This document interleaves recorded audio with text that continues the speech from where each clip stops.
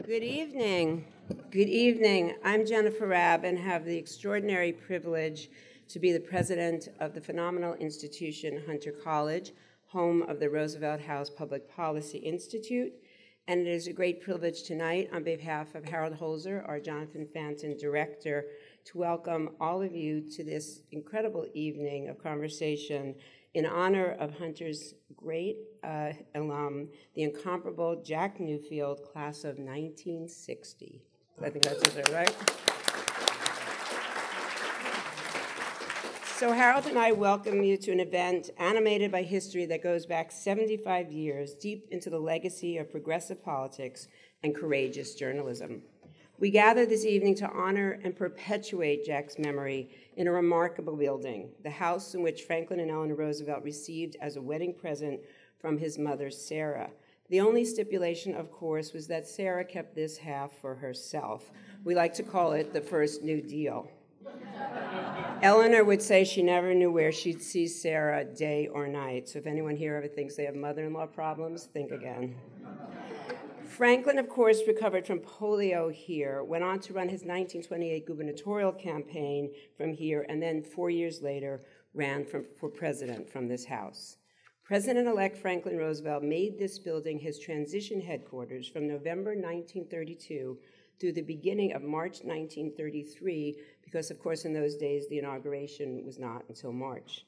So, yes, Maggie and Michael, this was the Trump Tower of the 1930s. It was here that Franklin Roosevelt named Frances Perkins the very first woman to serve in a presidential cabinet. And here that they together agreed to expand the model program of old age pensions they had introduced in Albany, a program that became known, as course, as Social Security.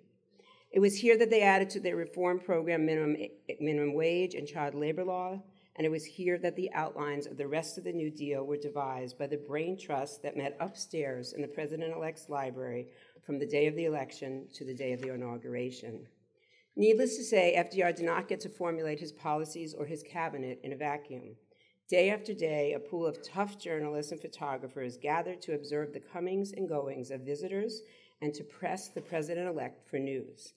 Except that during that transition, unlike many others, the newspaper men, and they were all men at the time, did not have to wait outside and shiver in the street. Eleanor felt sorry for them and invited them to camp out in the parlor, the room where you checked in this evening.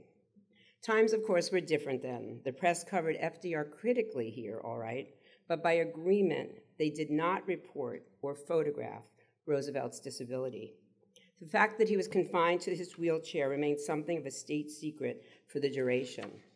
So, in that regard, times have changed, and tonight we are welcoming prize winning journalists who are at the forefront of this ever evolving change.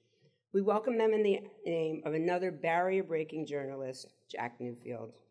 Jack was a proud Hunter Bronx boy.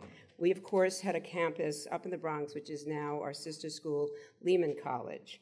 And that is where the men of Hunter College attended until we became co ed on our downtown campus until 1964. So he was a Bronx boy. He often toyed, talked about the opportunities Hunter provided him as the son of a widowed working class mother growing up in Brooklyn, attending public schools. He was especially grateful for his experience as a writer and editor of the school newspaper, The Hunter Arrow, which helped launch his extraordinary career.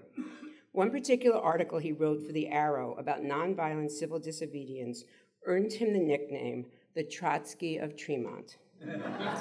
That's why we, get to, we had to focus on the Bronx. Let's just say Hunter was Jack's launching pad to establish his feisty reputation. Since Hunter was where Jack began to live his journalism dreams, it is fitting that years later he came to me with a proposition that would take him full circle. After decades in the newspaper trade, he proposed to teach a course at Hunter. So I had the honor of beginning to sit down with Jack to plan a hands on seminar that would teach aspiring journalists the tricks of the trade he knew so well. Tragically, we lost Jack too quickly, but we knew of no better way to address the sadness than to continue what we started, and that is what led to the creation of the Jack Newfield Fellowship Program. It has thrived ever since through the generosity and leadership of his extraordinary wife, Janie Eisenberg, and the Newfield family. And I want Janie, you need to stand, and so we can just say thank you and honor you.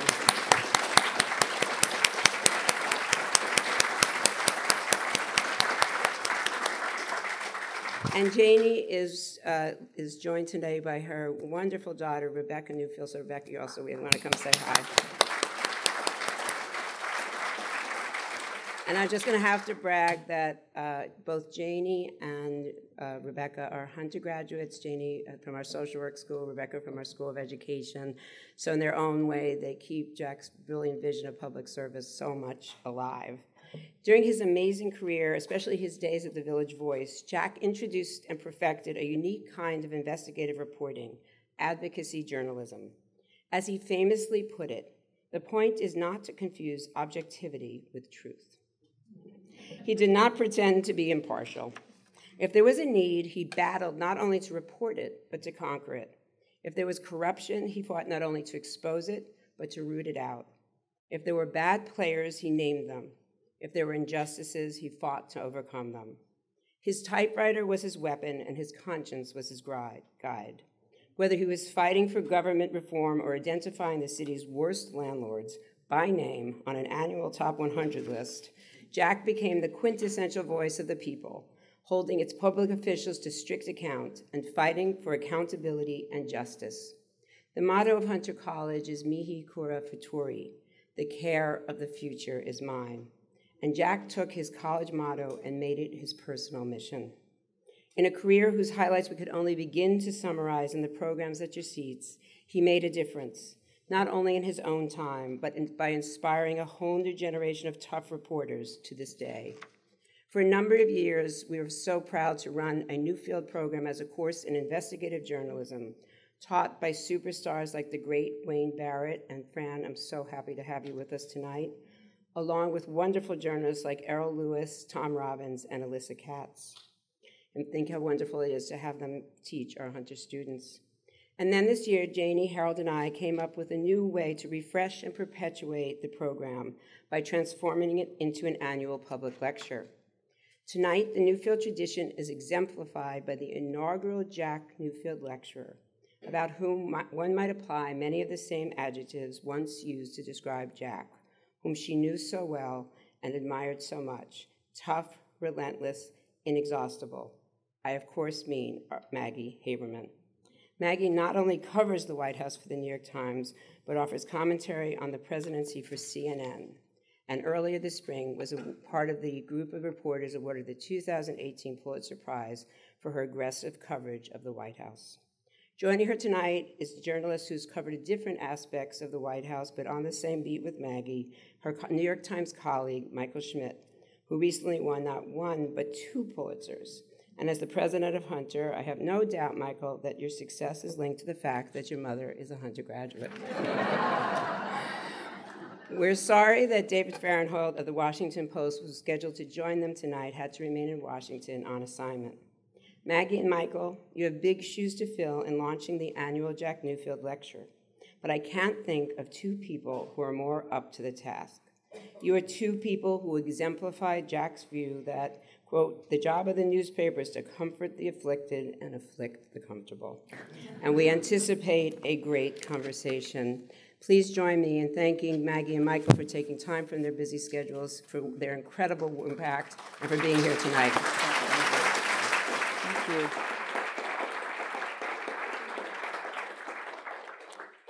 Thank you very much, and thank you for having us. And David sends his apologies. Um, when I saw the news broke this morning that uh, the Attorney General's office in New York had filed suit against the Trump to dissolve the Trump Foundation. I thought, great topic, and oh no, this is terrible.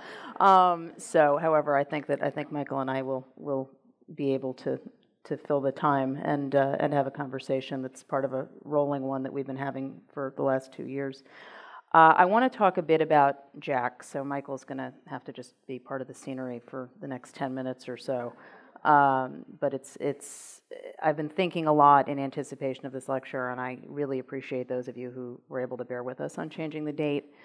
Um, I've been thinking about this a lot lately. This particular column that that Jack did in May of 2001. He had had this scoop uh, about the New York City Democratic mayoral primary, which uh, featured a number of candidates, but the leading two were Mark Green and Freddie Ferrer. And Jack had a story that Al Sharpton uh, was going to endorse Ferrer in the coming days. Sharpton balked when the story ran, telling our current paper that he would only endorse Ferrer if Ferrer backed black candidates for specific city offices. He, in fact, insisted the leak had come from someone else. So Jack wrote a follow up column. Quote, in 35 years in the newspaper business, I have never disclosed a source, he wrote. But today and never again, I have to break that rule. Al Sharpton was my source for my column that disclosed he had promised to endorse Fernando Ferrer for mayor. I am reporting this only because I've been listening to Sharpton say all week that Ferrer was my source. This misdirection is typical of Sharpton, the trickster responsible for the Tawana Brawley hoax, for calling a Jewish shopkeeper in Harlem a white interloper, and for other cons and confusions. I developed my story directly with Sharpton over three lunches at the Knickerbocker restaurant in the village. The Knickerbocker will, of course, be a very familiar scene for anyone who dined with Jack. The story was set to run May 6th. He asked me to hold it until May 8th so that his ally, the Reverend Wyatt Walker, could endorse Ferrer first as part of an orchestrated crescendo, unquote.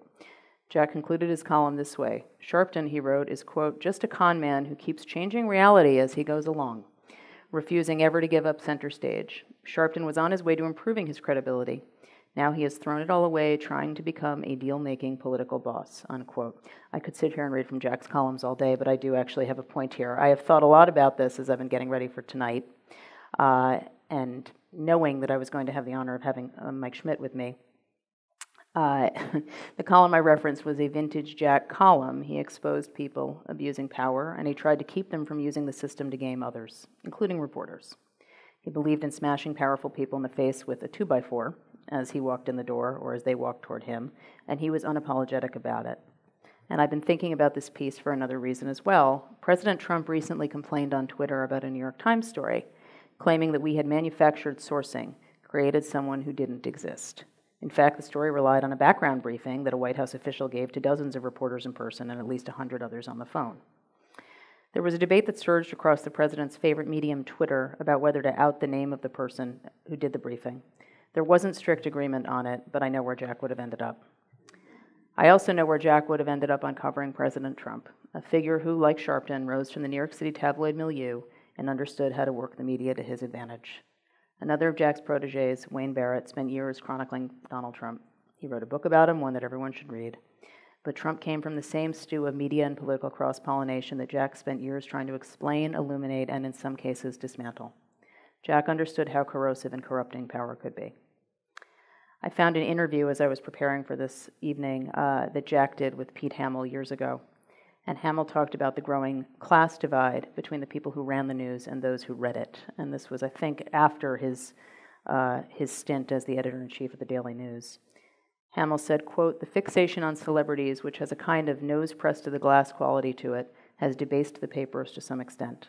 The notion now is that any banal thing done by a celebrity is of interest, and that celebrities are defined according to what a press agent decides is the best strategy. Like Donald Trump, for example. Whoever heard of a builder becoming a celebrity? Unquote. More on that in a bit.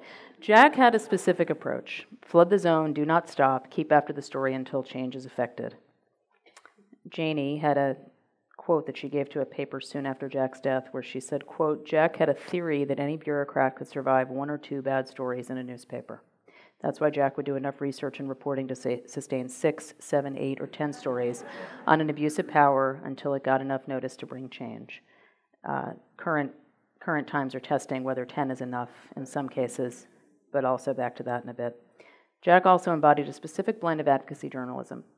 Shaped by his own experiences as a boy in Brooklyn, Jack did not believe journalism simply involved writing things down and letting people draw their own conclusions. The reporting allowed the reporter to draw some and share them to him. And that is at the heart of a debate that is taking place nationally about the role of journalists in the Trump era, which I suspect we will also touch on tonight. I first started working with Jack in the late 1990s, helping as an assistant reporter on a series about Brooklyn Surrogates Court when he was at the New York Post. Jack taught me about being unflinching, fearless in the face of pushback, and always mindful of the impact we have on people's lives, positively and negatively. He taught me lessons that shaped my career going forward, but two stand out today in the context of our current jobs. You cannot cover someone or something you hate, which Jack, I think, mostly did, um, and you cannot give in to bullying from the powerful as you pursue a story. He taught me the second one after we worked together on a 10 worst judges list. He got a call from a district attorney he knew well. He knew them all, but he knew this one particularly well, who was concerned about one of the judges on the list. Per, the DA did not want that judge there. The DA did a lot of business in that judge's court and wanted that person removed. It was not asking, it was telling. The DA warned Jack that he would, quote, lose all access to this office, unquote. Sorry, I'm a very low talker. Um, if he persisted with the reporting. This was a new experience for me. I was a 20 something, and I was nervous when Jack told me about it. I asked him what we would do, and he said, Leave the judge in. You can't give in to that kind of intimidation. And we didn't. The DA in question froze Jack out for a while, but eventually came back around, teaching me a third lesson. Most sources always come back around, and one should never be influenced by how angry they become. Jack remained one of my rabbis even when he was at another paper until his death in 2004. I miss him terribly, and journalism is the worse for not having him, particularly now. But the tradition of investigative journalism that he helped create and instill in so many proteges or admirers does live on.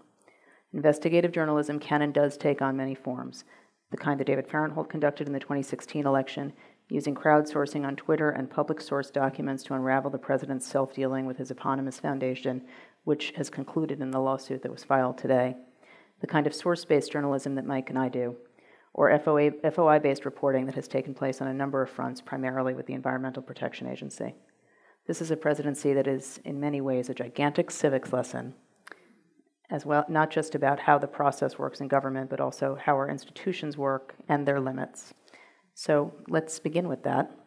Uh, for those of you unfamiliar with his work, and I don't imagine there are any, but I like to brag on Michael, um, Mike won, as Jennifer mentioned, not one but two Pulitzer Prizes this year one for our coverage of the Russia investigation, and the other for his work uh, exposing Bill O'Reilly's sexual harassment settlements uh, as part of the Me Too coverage. And I'm really lucky to have Michael here today in particular because there was an important moment in the retrospectives of what happened in 2016. There was an Inspector General report on actions taken during the tenure of James Comey, the former FBI director famously fired by President Trump, and the actions taken in the course of an investigation into Hillary Clinton's email server.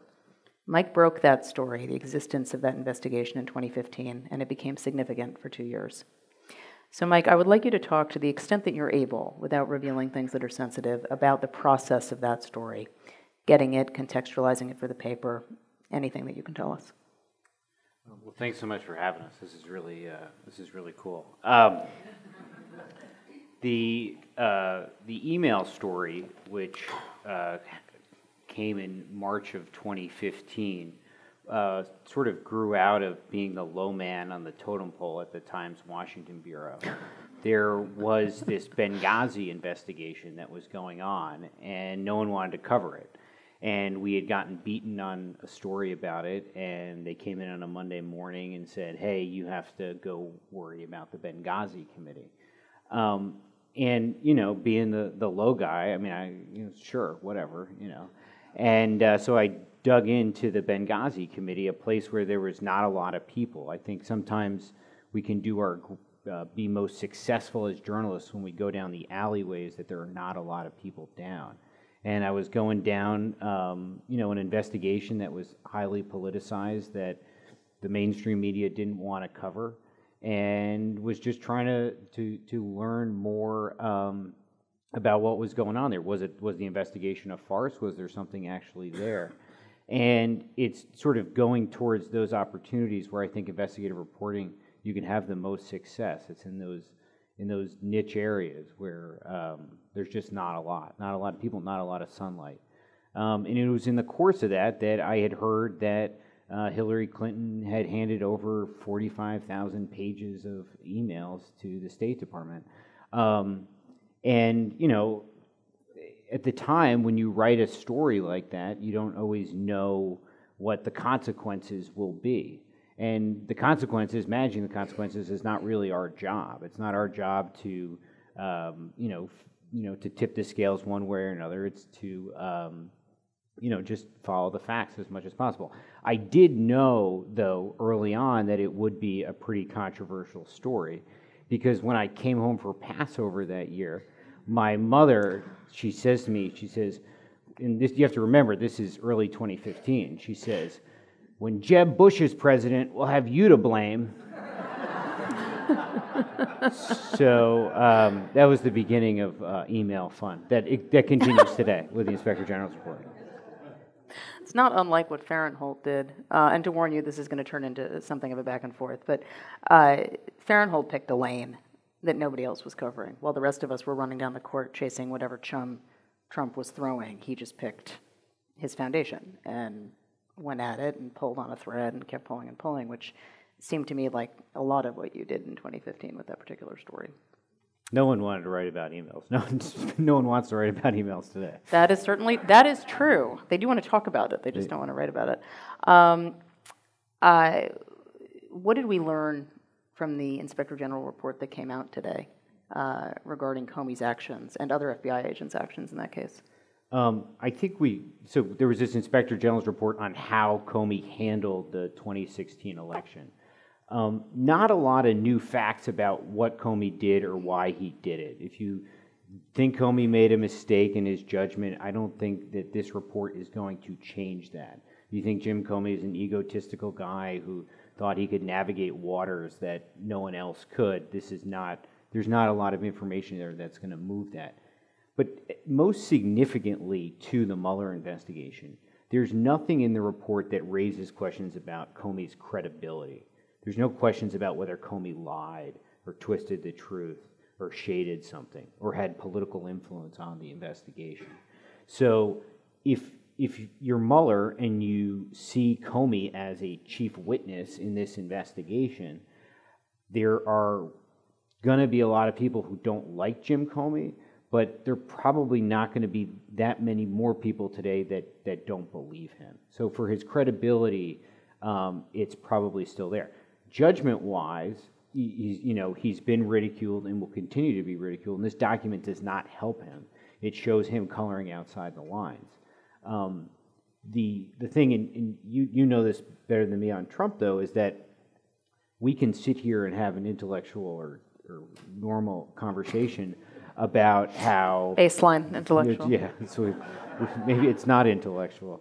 Um, about how this does not affect Comey's credibility as a witness because it's nothing about him lying and it's more about his judgment. Right. I think that a lot of that nuance is lost, and the president is very good at destroying that.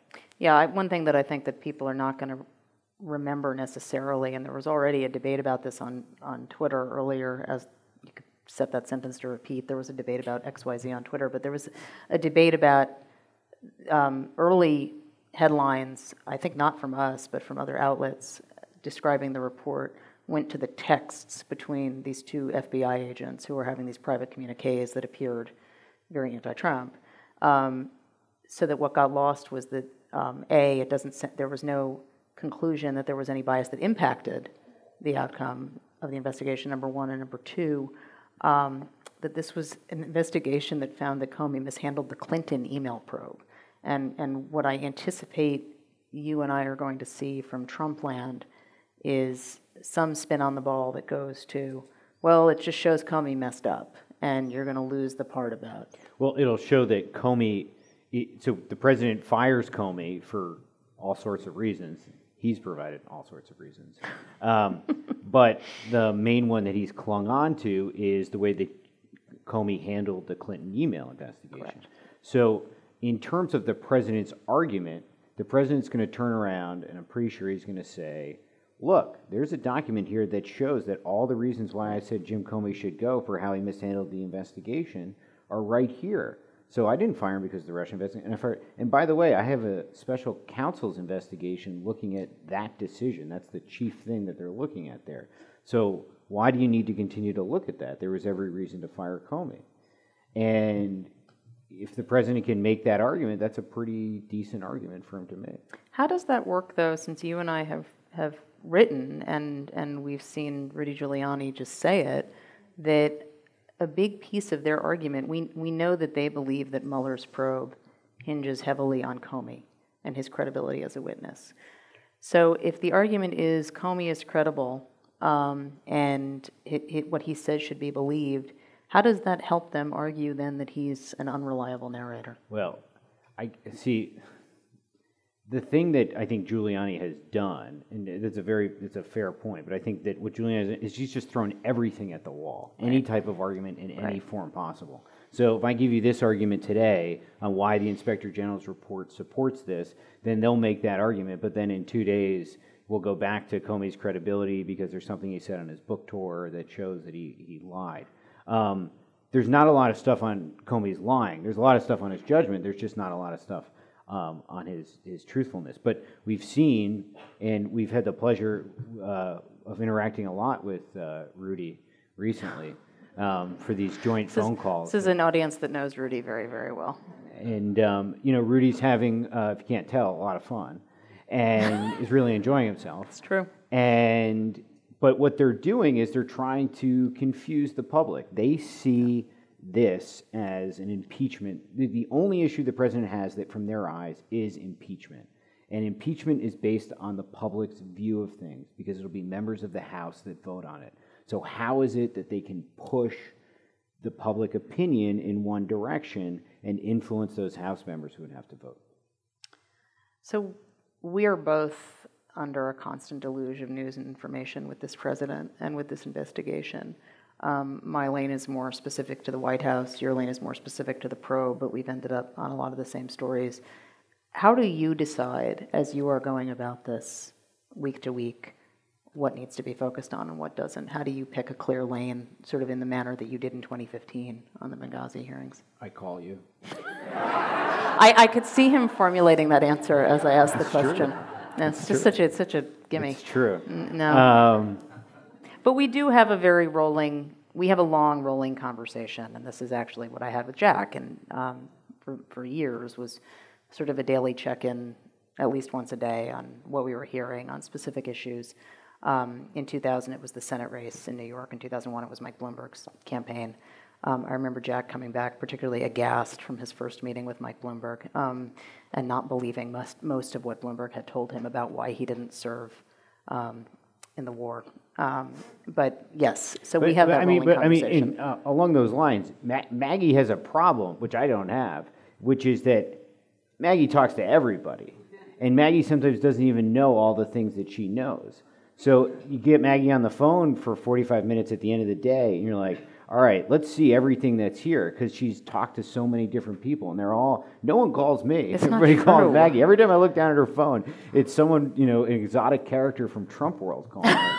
and I, you know, so Maggie's got a ton of information. So sometimes we have to just be like, all right, well, what do you know? You know, and just kind of take it all and throw it down on the table. Um, because there is so much that she knows and understands, and she kind of gets, you know, why she's been so successful on this is that she gets Trump and how these people operate in a way that we don't in many ways, uh, journalists in Washington struggle by treating the president. I mean, he is the president, but in this presidential way, as comparing him to other presidents.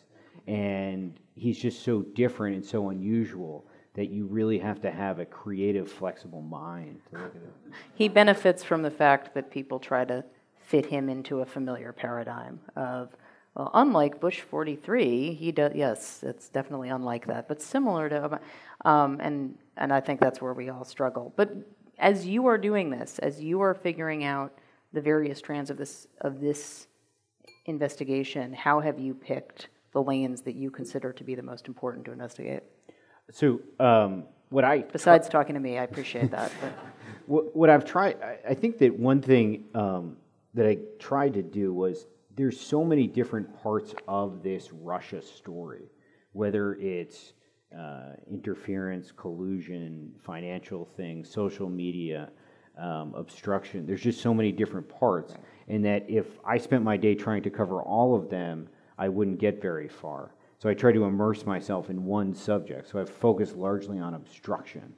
Um, it was sort of I did a lot of the Comey stuff, and it was an outgrowth of that. Obstruction is a lot easier than collusion because a lot of the president's um, the questions about his obstruction are things he's done publicly, and um, he does not hide. But I think that, um, and Maggie doesn't always have this luxury because she has to cover the day-to-day news at the White House. But for for us as journalists, the more that we know one issue, the better we'll be. Like like David uh, with the Trump Trump uh, Foundation. When you know the terrain of the story, You know everything that's been written about it. You know what the next fact is that moves it forward. You know the context of what the new fact may be, and you know you have a greater understanding, and you can be more successful. So, and in our team, we all sort of have divided up into different areas. We have a, a new area, Gulf collusion. Right. Um, It's a recent addition a to recent the addition. list. Those Gulf collusion guys are weird.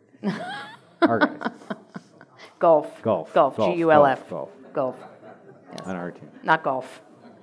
That's a, that's a different, that's a different area. Uh, That's, that's, that's part, that's part of the Fahrenthold um, endeavors.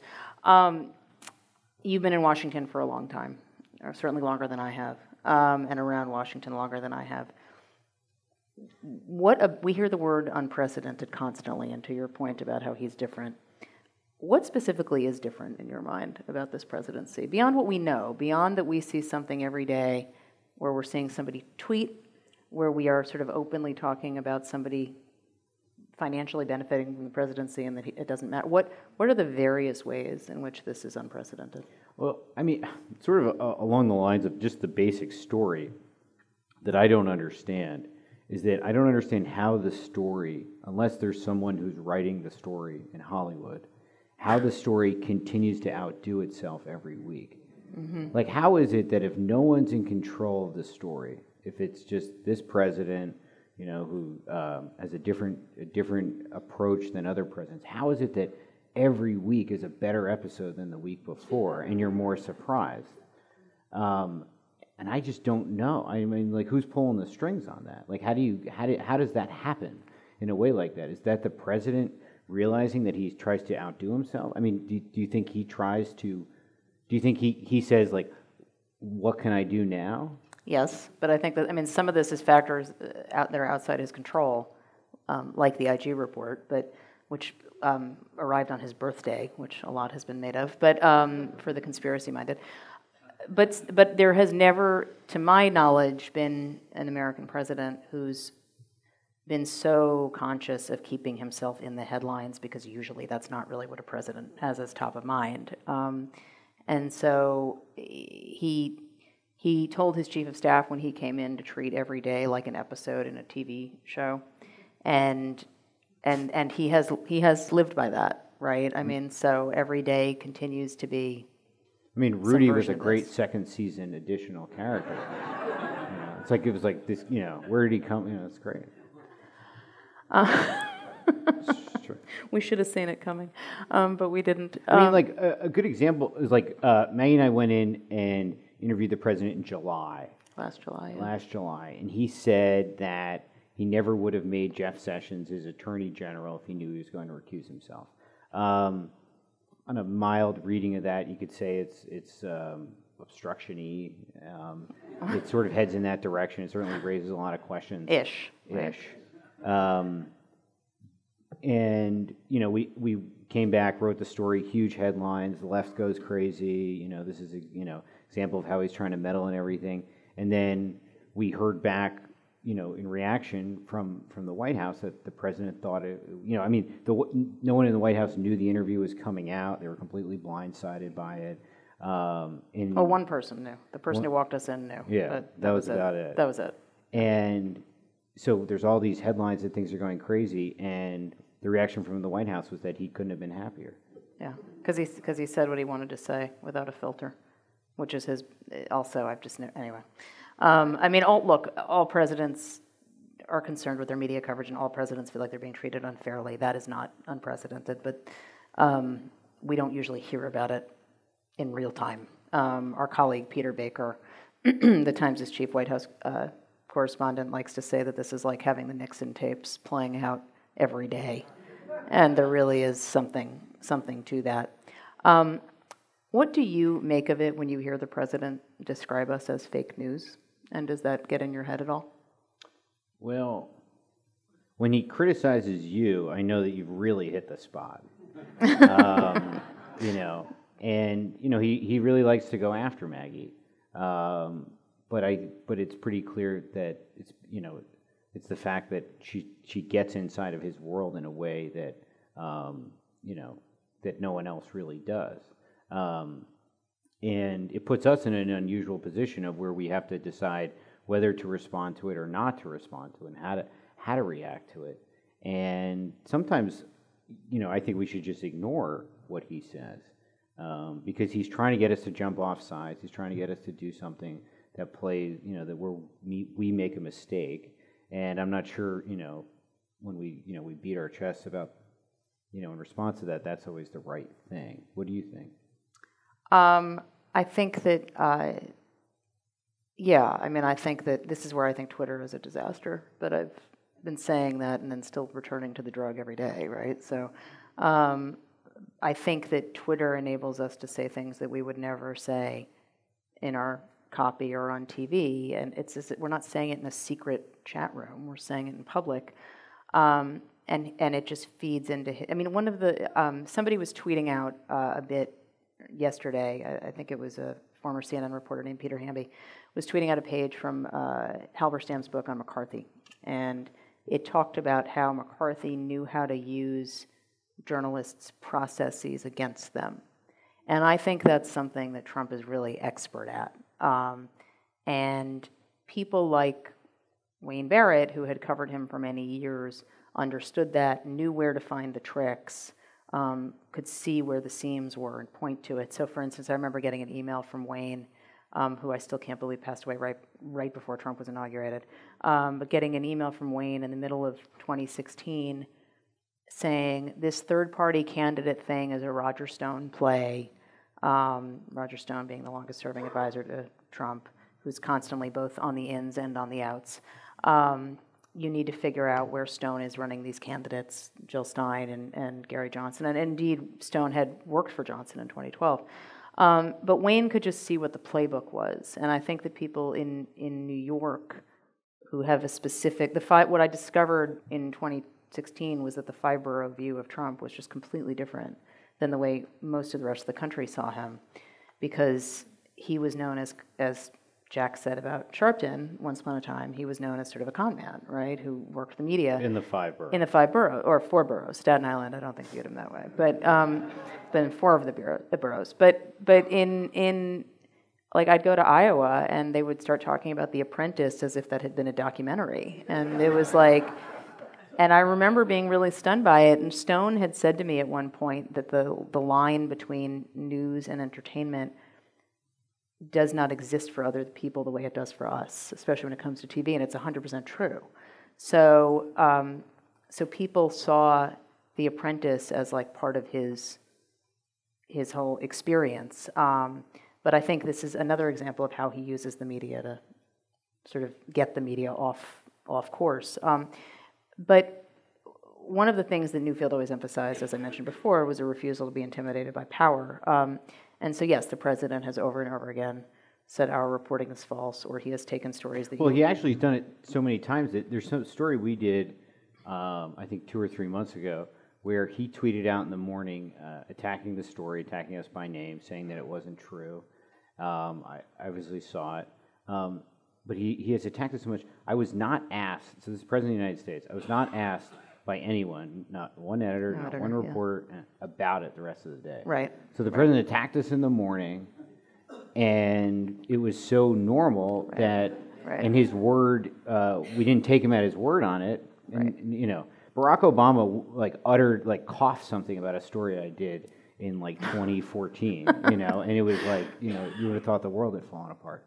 So um, he, he, he has in some ways lost credibility on our side in terms of criticizing it. It- it- But that, can that affect how we conduct our process at all? Because I think it can't. I mean, I think that one of the, one of the things that worries me about how journalists approach Trump is that some people believe you can, you can therefore start coloring outside the lines on how we do our jobs, and I think that's a terrible idea. I don't think it's a good thing when there's a White House that you're going to, which you you are almost always sure you're not going to take them at their word, because there's going to be times where we're not right, Right. and we need to have a discussion with them in which they say, actually, you know, it's not this, it's that, and if that trust is not there, then we could get in a position where it's like, well, we don't care. Let's just keep on lobbying, you know, whatever, you know, whatever. You know, we're not going to take them at their word about anything, and that's not a good place to be for us.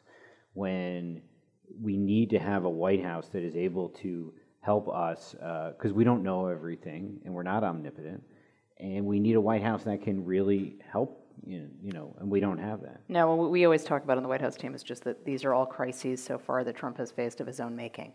So, what happens when he faces a crisis that's not of his own making? And he's got a press corps that doesn't believe a thing that gets said from the podium because it's been so devalued. Um, and I think that's where it becomes a problem. But he is not the first, he might be the person who does it the loudest, and he might be the person who labels us openly the enemy of the people, unlike sort of a Nixon where it's more private. Um, but he's certainly not the first person to, to try to undermine our reporting. Um, you came under intense criticism from the Clinton orbit for your reporting in the email investigation, uh, which has turned out to be correct, what you reported, particularly that she was under investigation during the campaign. How do you deal, and the, the, the intensity on you has been, I think, less personalized, certainly by this president, than it is with me. Um, uh, but how do you, you, but you have dealt with it from various places. How have you dealt with, and how do you deal with efforts to intimidate? And how can reporters generally avoid falling into traps from that? It's hard because, especially um, if as soon as we become controversial or anything, I'm sure you see this more than I do. As soon as we look at Twitter, we can see you can see instantaneously what someone is saying about you, like at that moment. And even if we say like, oh, you know, it doesn't matter, it can have an effect on us in a way. It's like you just don't want to look down at your phone and see people saying nasty things about you. It just and the the Twitter atmosphere. I mean, it's a place where we sort of have to operate for what we do. I mean, I'm sure we could if if um, we really needed to not to not do it, but um, and that can really it can grate on you because it you know you look at these things and you're like, well, the, this person's saying this thing about me that's not true and such.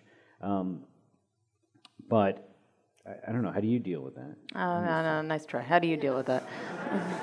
it's. I mean, um, the other thing that sort of I always try and come back to on all this stuff is like, in is like, look, like we're going to go out and we're going to follow the facts. Like we don't have a dog in this game. We're not part of the resistance. We're not here to prosecute Donald Trump. Um, a lot of the left thinks that. That's not our job. Um, we're, we're not his defenders. We're, we're not his friends. We're here to cover the story as much as possible. And the more that we talk about that and the more that we do things like this and we explain to people that like we're just out there trying to figure out what's going on, you know, like, um, you know, I'm not a political, you know, we're not political people. You know, I didn't vote in 16, I didn't vote in 12. Um, the more that we show people that, I think the more effective we can be because there's different expectations on different sides about what we, you know, what we do. The right has one completely different view, the left has another, and what we really do is somewhere in between. And I don't think folks appreciate that. Yeah, I was thinking as you were talking actually that you and I are both in a in a documentary that I, I suspect that given our druthers, neither of us would be in about the Times' first year covering uh, Trump um, and not just in my case because I was 50 pounds heavier, but the um, but um, but that's certainly part of it. Um, but but I just you know I, I tend to subscribe to the belief that we are not we are not the story, and that's actually where Twitter gets very muddying too.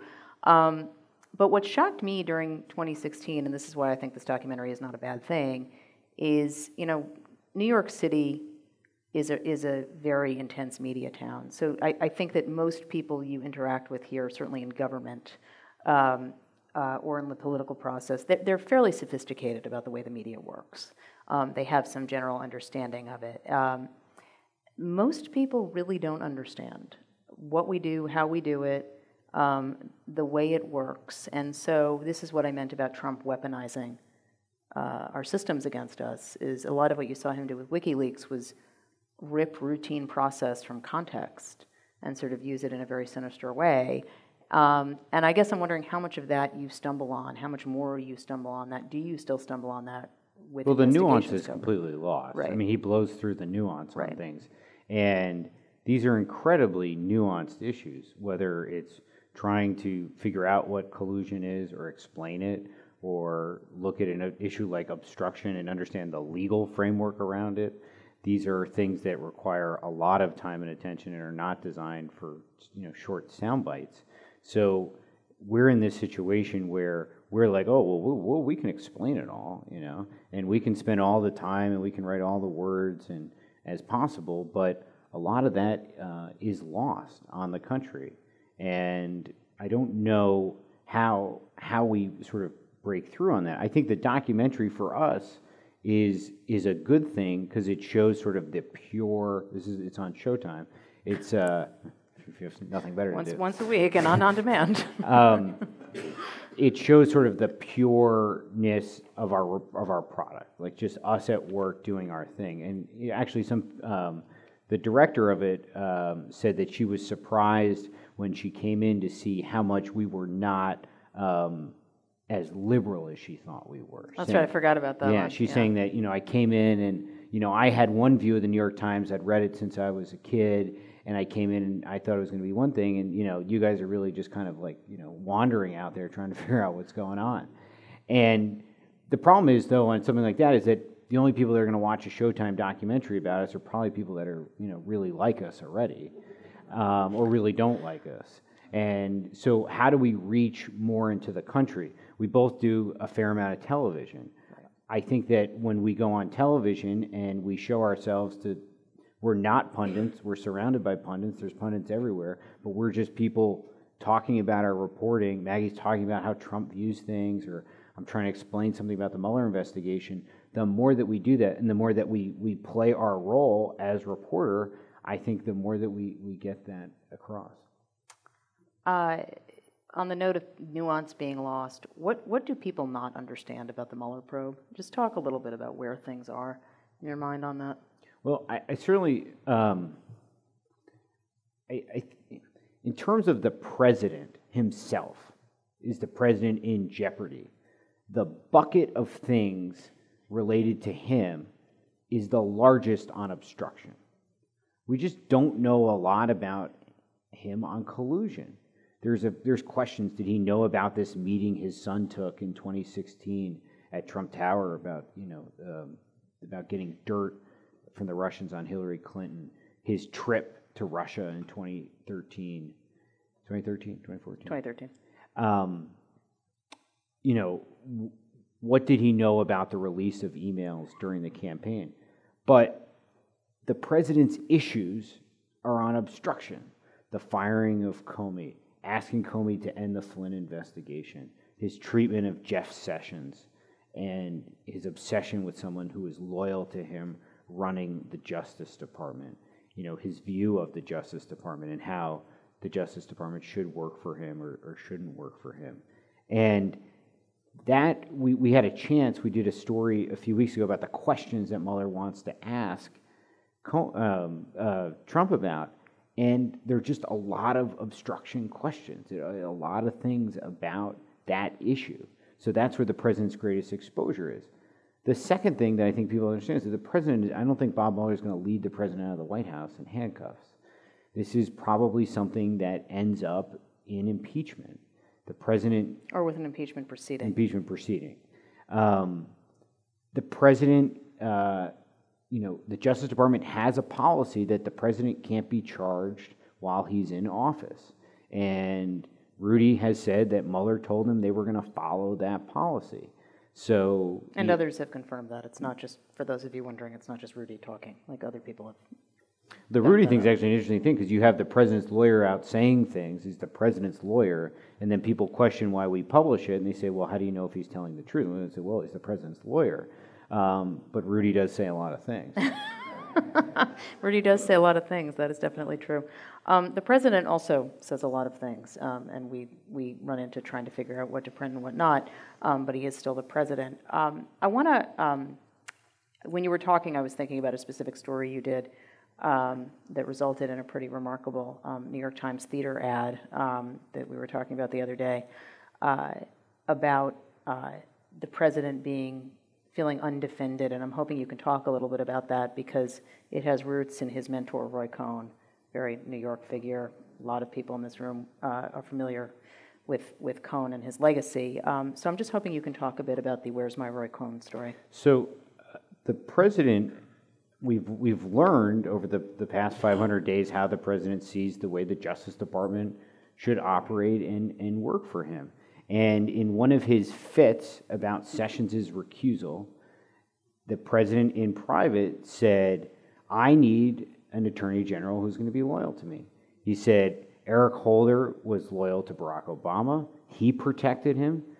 Uh, Bobby Bobby Kennedy. Kennedy protected his brother when he when he was attorney general. He said, and then he said, "Where's my Roy Cohn?"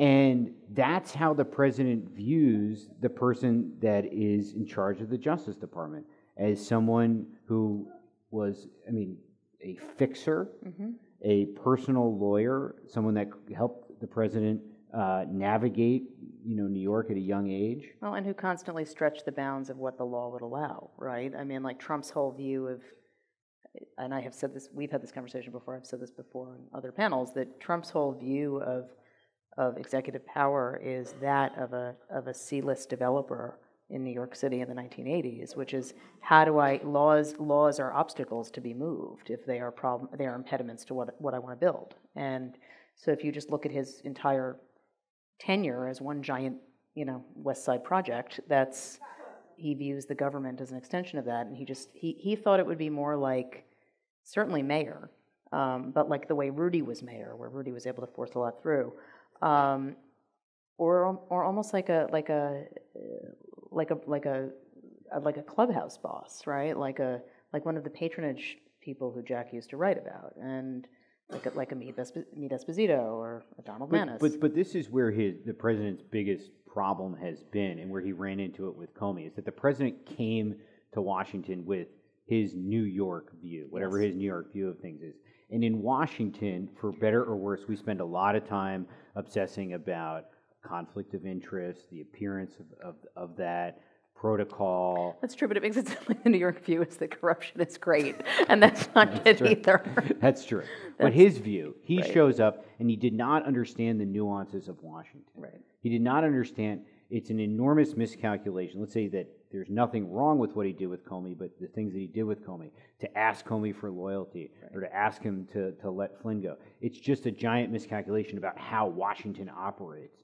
To not realize that those would be things that would set the town off and would be huge things, especially with someone like him who was going to be under the microscope. He just, and I, st- he, and he hasn't really changed. No. I mean, he's, he's a grown man. He's 72 today. I think 73. one or two, yeah.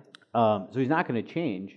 Um, but back on the, the stuff we were saying before, he also doesn't hide things. He's like sort of like transparent in an interesting like way. You can ask him a question; he'll tell you what he thinks about it. It may not be accurate.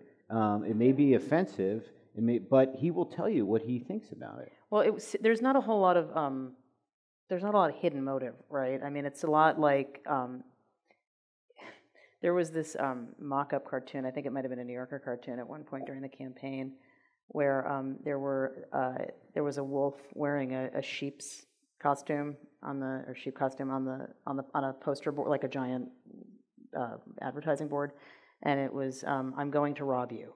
is is what the the wolf in sheep's clothing was saying, and the two sheep looking at it said, "He's really tells it like it is," and like, and that's like, I mean, anybody who is surprised at what he is doing was asleep for all of 2015 and 16. There's just nothing.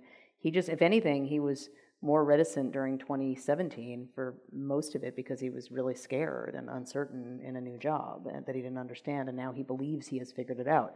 I'm not saying he has figured it out. I'm saying he believes he has figured it out. And so that's, But I mean, in, I've learned this from you just um, about him. But I think what his his greatest strength for what he wants to do is his ability to continue on. Where if you had made said some of the things that he had said early on, you would have Right. gone home and said, "I'm never coming back to public life." And he is completely undeterred by that and just continues to go. And, and nothing, you, know, it, it has no impact on him. He cannot be shamed. right. I was going to say he's not going to be. He won't be shamed. That's what it is. He cannot be Yeah. shamed, and he continues to go and go and go. Where, well, I think a lot of people would have given up a long time ago. Well, that's, I think, where, where he's a challenge to cover in general, and I think that's where people who do expect us to be part of the resistance or the opposition, you know, he labels us the opposition party, and we try not to be that, um, but we do need to call out what he's doing and saying. Um, but people are used to the Perry Mason moment in politics, right? Where you know, you, you, you the person ends up weeping on the stand because you've you know, held up, here's what you did yesterday, and he'll just look at it and say, I didn't do that, I didn't, you know, and so there is no, if the, if the line keeps moving, you're never gonna catch up to it, and that's always, that's, I think, the challenge of covering him for, for everybody. Um, is there anything in your previous reporting, and you have, you have basically dominated every beat you've ever had, um, but is there anything in your previous reporting that, that has prepared you for this, or that feels similar to this? No. Okay. I covered I covered uh, drugs and sports for uh, three years, and then I went to Iraq for a year. I've been in Washington for uh, six or seven, uh, and um, the only thing that is mildly similar to this, which was what I thought was the greatest story I'd ever covered before this, which was uh, Roger Clemens versus Brian McNamee, um, and it had some sort of Trumpian elements to it because you had this big character who um, uh, you know had a different view of the truth, and it was an you know this very dramatic story that played out. It had some tabloid aspects to it, and I thought it was the you know the most interesting thing I had covered. Um, but this is like Clemens v. McNamee like every day for you know 500 days, and for Maggie a thousand days. Thousand point. days, thousand days of rain. Thousand Um, days. uh, I want to ask to draw a little closer to the neck of the woods we're in now. Um, uh, what is the current view of the, the Southern District of New York investigation into Michael Cohen, who is in a hotel not far from here, um, the president's uh, former lawyer? Um, what is the view of Trump's legal team right now about the threat that case poses? they think that they understand all the contours of the Mueller investigation and where the president may have issues and what the facts are and what witnesses have said. And they feel pretty confident about that. And they think they're, they're fine on Mueller. That's their view. On the Southern District, they are deeply unnerved because they do not know what the investigation is really about. They don't think that they've gotten a fair shake from the president about what his relationship was truly like with Cohen, and I don't think Cohen's side feels that he uh, they have an understanding of what he was really doing. Um, you know, these are two you know people that have known each other. What I mean, Um, over ten years. yeah, yeah. It's not like a thirty-year relationship. No, this is not a Roger Stone relationship. It's about, about a decade. Um, but obviously, Cohen was doing a lot of different things. There's this whole aspect where he was taking money from companies after the president came into office to provide advice about how to understand the president. That'd be, you should do that. That'd be very lucrative. A lot of signing here. Um, I want to ask you one more question, and then I'm going to open it up. Uh, we've talked a lot about the investigation, obviously, and I touched on some of the government uh, investigations that that uh, newspapers have done. But what are the areas of? The, I mean, I feel like so much of our day is just Trump is like it's like a smog blanket, right? And we're just constantly trying to figure out where and get get oriented. What areas of the Trump administration do you think are, are undercovered right now, and where could reporters be providing a greater? I think Focus. the hardest part of this story for us has been the financial side of it. One, because it's confusing, and two, because we sort of run out of power after a while, and we really would need the power of subpoena to figure out what really goes on in terms of Trump Org and finances. And we sort of hit a wall on that. To be a good financial reporter, you really have to understand how that world operates. And there's not a lot of reporters like that. And Trump's companies and his finances are not tied, they're not public companies. This is, you know, Trump Org, you can't go buy stock in Trump Org. So it's, it's very difficult to get any insight into how the money actually operates. How much money does he really have? What were his, his financial relationships? And I think that is where we have struggled time and time again on the story. But in a sense, we don't have the tools. I don't think we have all the tools to really cover it. Do you think that's another example of him understanding what processes will sort of shield him and the limits of the media, or is that just by happenstance? I think it's more happenstance. I, I mean, we, I think in, we, we go back and forth a lot about is the president, um, you know, this evil genius that is tricking us into all of these things, or is the president just, you know, um, some guy in his 70s that happens to be president? Three, three dimen- 3D chess versus 10D checkers. Yeah. Um, Uh, With that, I want to open it up to questions. If I could just ask you to please wait for the microphones to come to you. Uh, I I guess I'll call on, sorry, I thought you were going to do that. Uh, The woman behind you in the red glasses.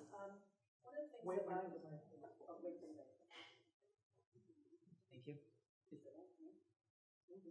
Okay, one of the things I'm most concerned about is the attack by Trump and his White House on the three pillars of a democratic society an independent, by, uh, nonpartisan judiciary, uh, a free press, and elections that can be guaranteed. And he's done everything possible to undermine those three parts. And what I'm wondering is, what is his end game in doing that? Why is he? I mean, I've heard that Mitch McConnell has canceled the August recess because he wants to get all these judge appointments through before possibly the change of um, the House or the Senate. Um, but what is their end game? And, and that goes along with the G7 disrespect and the NATO disrespect and, and love affairs with all these horrible dictators. What, what is he trying to do in creating this uh, legacy for himself and the country? I mean, I think that goes back to Mikey's point, right, that there, people try, try to ascribe a lot of strategy to what he does. Um, he clearly has motives that, that we don't know. I don't know what they are. I mean, you're, you're, the, the answer to the question of why does he continue to praise authoritarians, he's actually been doing that for 30 years. If you look back at the interviews that he gave to Playboy in 1990, um, he was pretty clear about um, how impressive uh, Tiananmen Square was, which is not normally a view you would hear um, from an aspiring American candidate. Um, uh, he, throughout the campaign, um, offered, you know, words of semi-praise for Saddam Hussein. Um, he kept describing him as as killing terrorists. It's true that he killed certain terrorists. He also sponsored other terrorists, and so there would always be this one corner of it. Um, but we would all get lost debating the actual fact, and Trump wouldn't care, and would just move on to the next thing. I don't, I don't really know why he is doing certain certain things that he is doing in terms of uh, expressing less personal concern about readiness about the elections, for instance.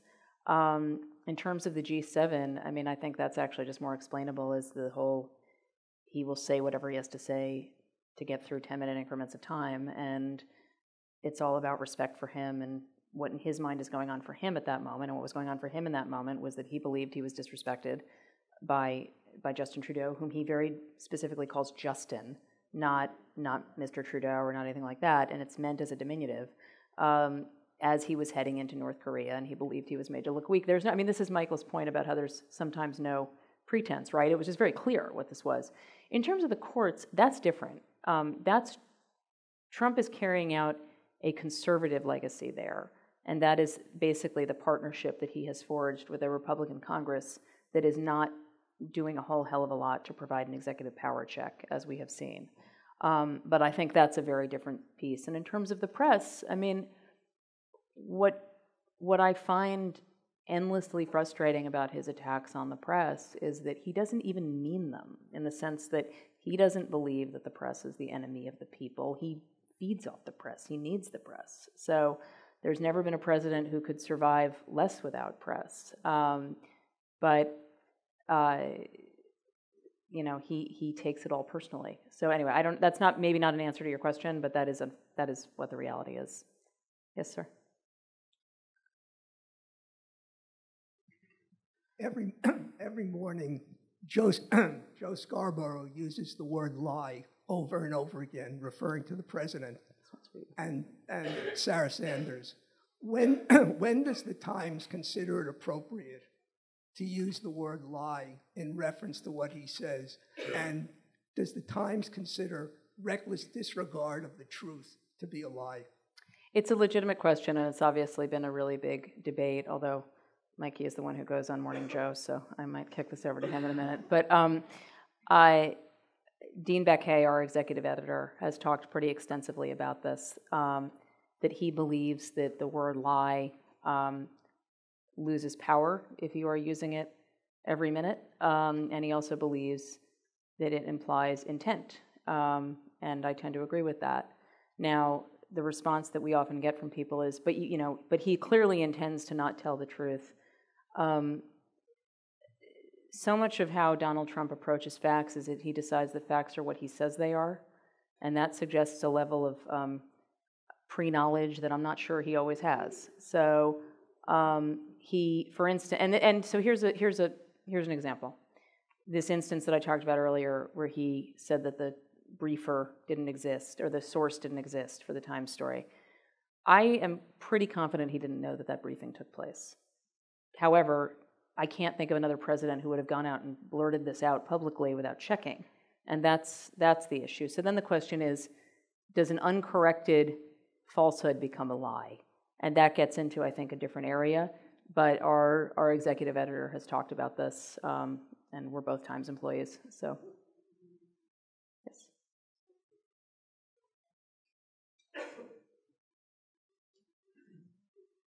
Thank you for that question, and thank you for that answer. Sure. Um, I, let me just add one addendum before you please. continue, by the way. I think that people, to, to Michael's point about how he's not going to be shamed, I think people think the word lie is going to do something that it's not going to do. Um, and I think that it, this giant debate about when rep- attacking reporters for not using the word lie is a lot of energy that could be spent on showing where he is not telling the truth. And if people need me to use the word lie when he says this table right here is a sofa and they don't understand it unless I say it's a lie, then we got a real bigger problem. So, sorry, go ahead. my question is getting more confused in my head. I can only imagine. my 14 year old daughter used to say that, you know, oh, that explains it, but it doesn't excuse it. And I think we're, at least I want to look back when we can all look back at this and say, oh my gosh, you guys were the ones who finally did whatever it is. If it's not calling it a lie, I, I, fair enough, your point is good to not call it a lie because of the reasons you stated.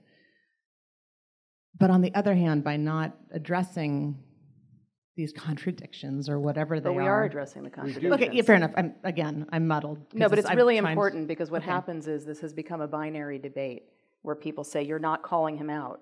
We actually call him out all the time, and so we have used the word lie. We just don't use it every day. But we also, like, we say, like, you know, the president falsely claimed. Yeah. We you know, fact check and, in like, real time in the Fact check in real time. Yeah. And to finish, Sorry. no, but it's not just at- really no, important. no. I to- actually, yeah. I do- dovetailing on that.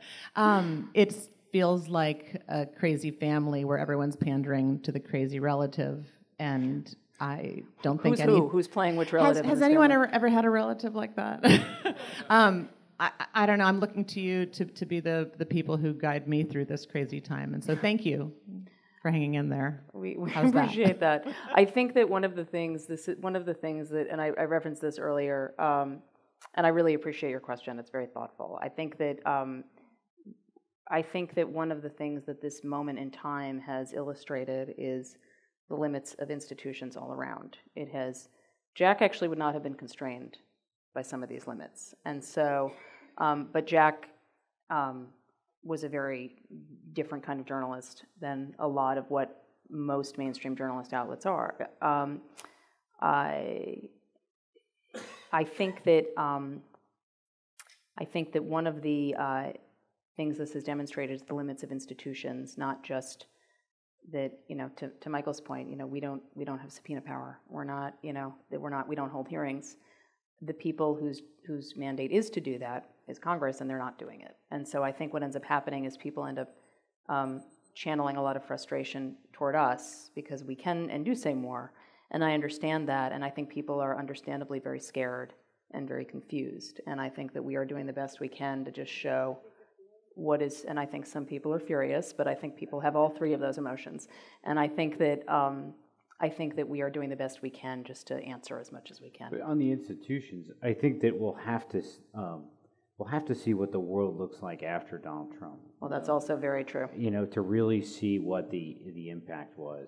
If we're in a completely Very new true. paradigm and we're still existing in sort of the same thing, then we've obviously gone in a different direction. Yeah. If the country um, sort of heads back to sort of where it was before in terms of the way that the media and Congress and the judiciary works, then it's then it's different. But we won't really know that until um, until it's over. That's a really good point. The woman on the end? Yes. Just wait for the mic. Uh, Can you just uh, go over briefly the story that broke last week about the Times uh, source and subpoenas or? That's an, that's an internal investigation, so I'll- I'm, I'll I'm not going to get into that, but if you want to talk I about it. mean, y- yeah, there was a, we ran a story in the paper about how um, one of our reporters um, had uh, some of their records seized as part of a leak investigation. Um, You know, uh, we're very concerned in Washington about any type of leak investigation. The president has made that a high priority. I mean, publicly said it and um, has privately set set it for the Justice Department. Um, but it's it's a it's an area that concerns us, but it's also something we don't really love to talk about. Yes, sir. You, with the red sweater. Thank you for, thank you for a, a nice presentation. Um, what is the secret to Trump's success? Is it, it's got to be more than media manipulation. Other presidents have manipulated the media. Roosevelt was a master at manipulating the media. He went over the media's head with his fireside chats. Um, he had that uh, amazing voice. Reagan um, also uh, was very eloquent. John F. Kennedy. Um, what is it about Trump? How does someone like this, who had no political experience, become president? He defeated the Obama administration attacks. He defeated the Hillary Clinton machine. He defeated, uh, how many, 18, 17, 16 Republicans. Um, I, it, to me, it's amazing. There's something that I'm missing in this story as to what the key to his success is.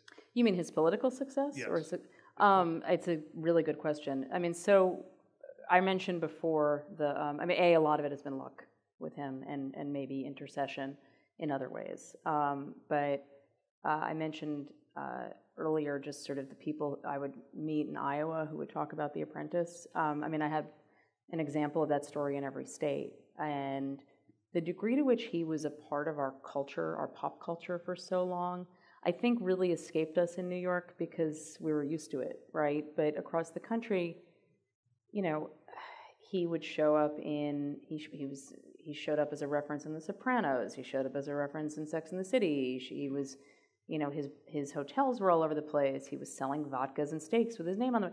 He's been he's just been part of the zeitgeist for a really long time. So no one will ever be able to do no rich guy is going to enter in 2020 from the left and duplicate what Trump did unless they've been part of the culture for 30 years. And he had 100% name ID and brand ID. And so people had formed their opinions of him long before newspapers started doing their dives on him. That was the thing that I discovered. Um, so that was a timing, honestly, was a big secret of his success.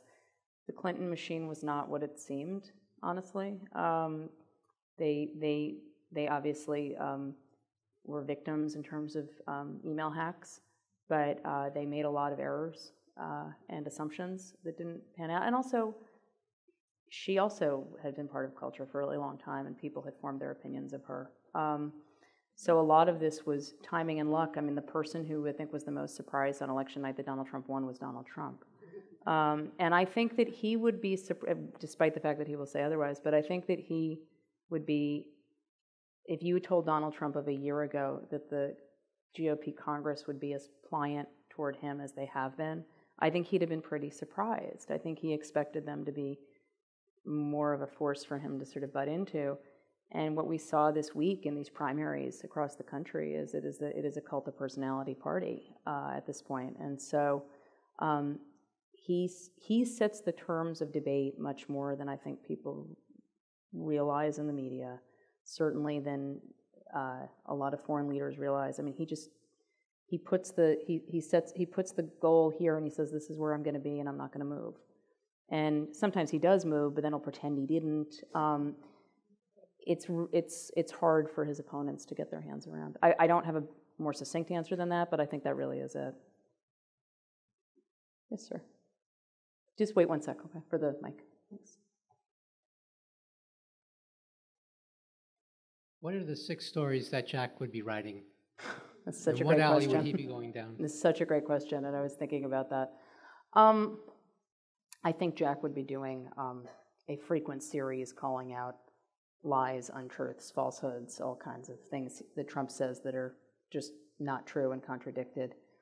Um, I think that Jack would be working extensively on the profitability of the Trump organization over the last 16 months uh, and where they have done. I'm not sure I can come up with six right now off the top of my head, but um, but that's two. Um, I think that he would be writing about the extensive um, swampiness of the Trump administration. I think someone like Scott Pruitt would revolt Jack. I think that he would be writing daily pieces about it, but Pruitt wouldn't be the only example. I think he would see Jack doing a lot of work on Betsy DeVos and what's going on at the education department, which is pretty uncovered at this point, and to me is one of the areas that's not getting enough attention. Um, that's that's four. Um, that in that in that general vein, I think Jack would be doing a lot more on how the government of Trump is working than I think everyone who is just sort of, as I said earlier, chasing the ball down the court in various ways are. So, I know, which I realize that I think that we are doing the best we can. I think we can always do better, and all of us probably should be doing better in a lot of areas. Yes, sir.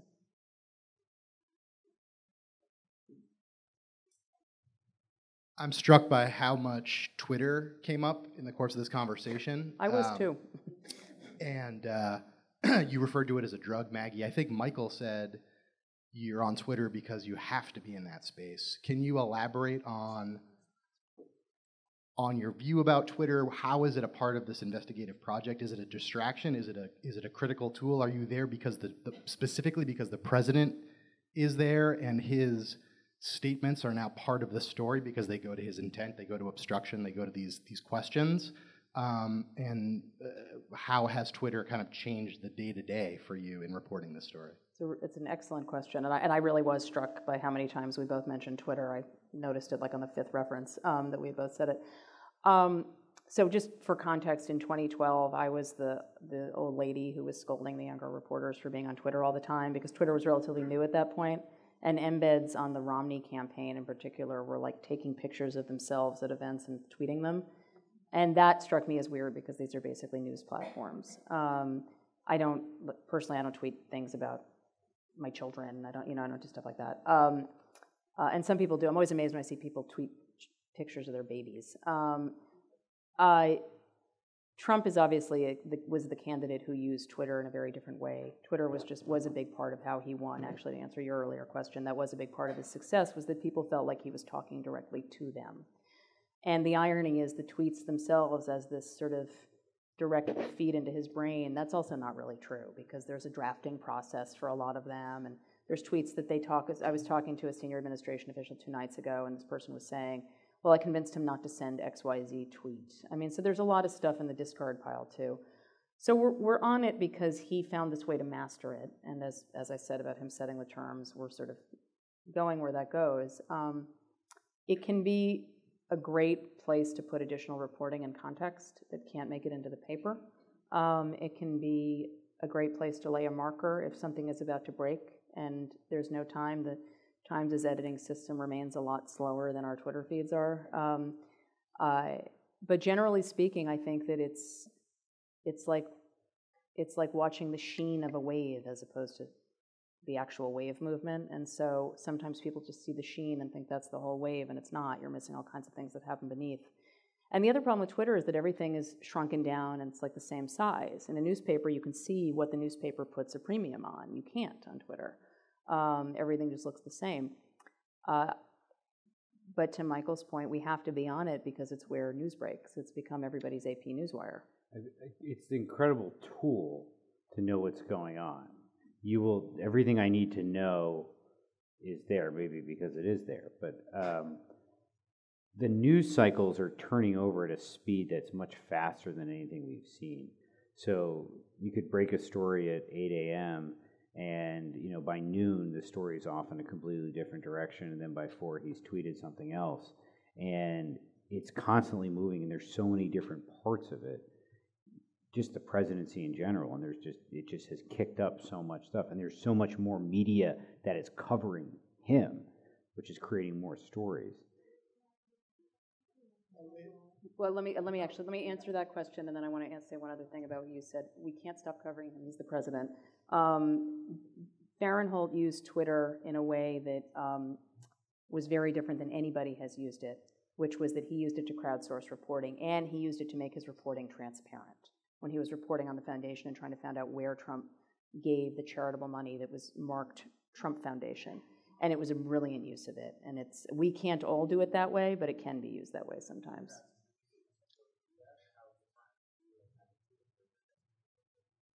Um, I, I don't think the Times has taken a big view on whether it helps or hurts our investigative reporting. I think they've more tried to look at guidelines on how we use But it. the other thing on, on Twitter is that um, it's something that consumes a lot of our time and folks in the media's time. But when we look at our traffic, Exactly. about the amount of place of places that send people to us, Twitter is a small, small fraction, and Facebook is Yes. a big, big part of it. It's like Twitter is like four percent, and Facebook's like forty percent. Well, we will continue the conversation upstairs, but please join me first in thanking Michael Schmidt and Maggie Haberman.